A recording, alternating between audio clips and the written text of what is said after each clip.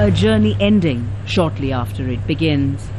This boat was stopped by the Sri Lankan Navy about three hours after it left the Trincomalee coastline.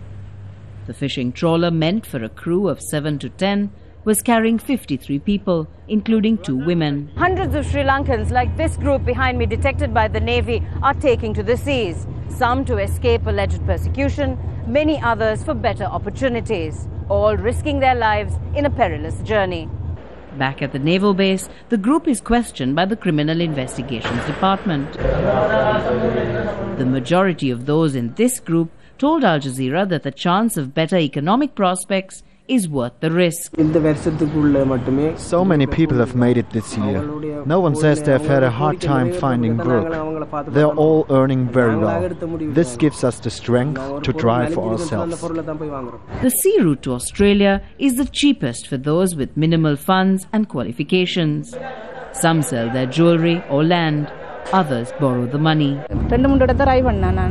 I've tried several ways to obtain a work visa, a student visa, even a tourist visa, but nothing worked. I don't have anyone to sponsor me, so this is my only option and the cheapest. Failure to reach Australia can mean crippling debt and jail, like this group, which was remanded pending investigations.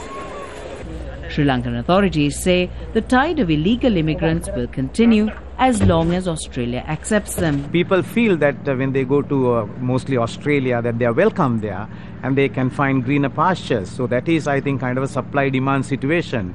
It's not uh, nothing to do with the situation here because the situation here is quite normal at the moment. Some Tamils disagree. They say despite an end to a long and brutal war, they feel they are not being given the opportunities they deserve following the end of the conflict. Here in Trincomalee, young people say with the lack of opportunities, braving the seas to Australia is the only option they have. Minelle Fernandez, Al Jazeera, Trincomalee in northeast Sri Lanka.